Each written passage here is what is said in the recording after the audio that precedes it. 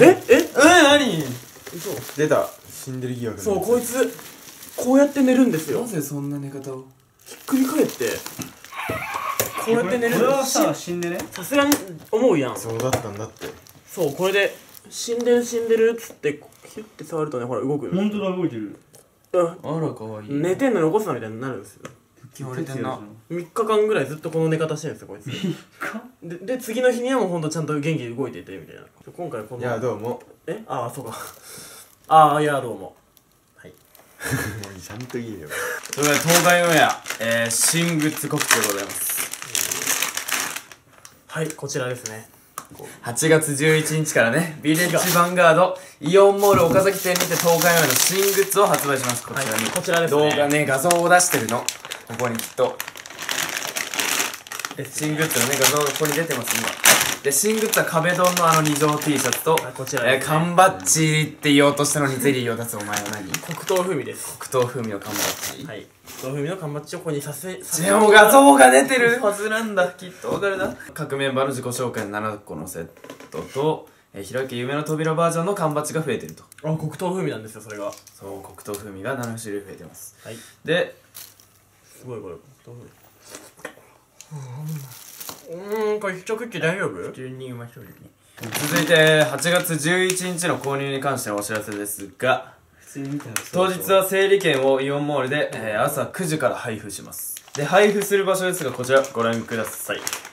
イオンモール岡崎店の、えー西部の入り口になります。こちらまあ他の入り口に行ったらその東海オンエアの入り口は西部の入り口にありますっていう多分張り紙があると思うんで。はい。こういった形でゼリーを差し込むことができます。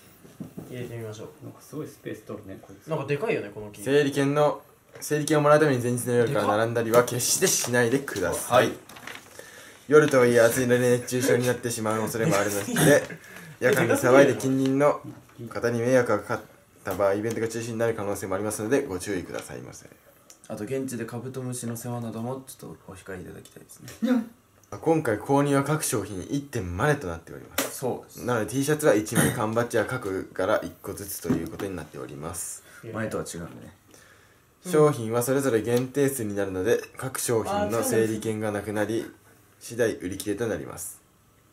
当日閉店後あ開店後整列したまま1回セントラルコートに移動して販売イベントを行いますが図書カードにて商品購入を希望する方はビレッジバンカード店頭に移動うるさ。あすいませんでした。怒られちゃっ移動していただくことになるのでご注意ください。たはい。8月10日の夜徹夜 徹夜の彼女柴優亮の食事会の話はいいんだよ。びっくりした。